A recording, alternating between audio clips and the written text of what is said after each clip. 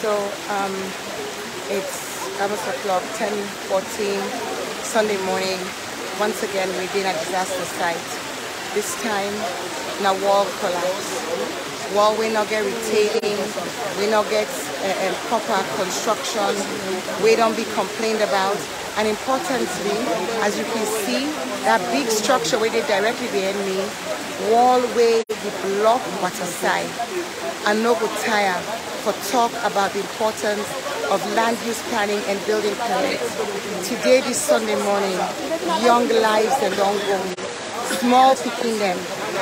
Grown, uh, uh, two young women, one old old car. We go get it correct, confirm numbers. Are with N, NN, NDMA and others, the community, the councillor.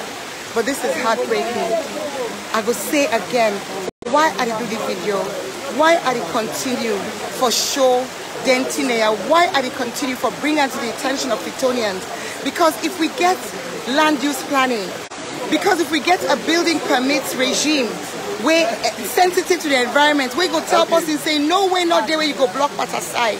If we get rules and regulations where they be enforced, the community they say every year the world the forum, every year then they build them, the people then they build them back. The community then say every year then they complain.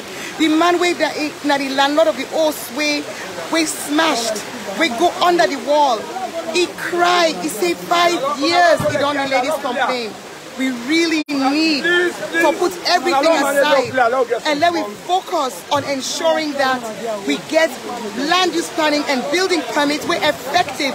Elect not a council manager, but let we get a system where effective because extreme weather conditions under climate change, then it continue to happen.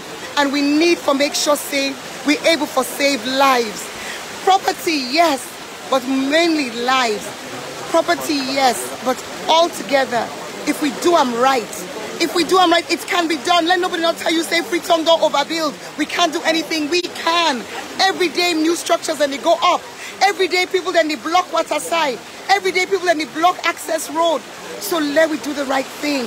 Let we do the right thing. I go continue for advocate. Freetown City Council and on behalf of all the local councils, let we devolve land use planning and building permits. If you're not on the walk, let them say we not get capacity.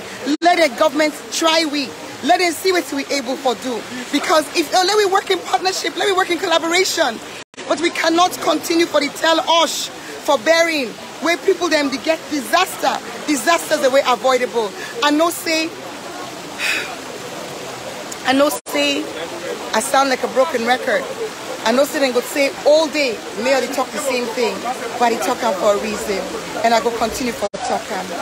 When I, when I let we all us, we had to go out to the young family we don't lost their, their, their loved ones um, today.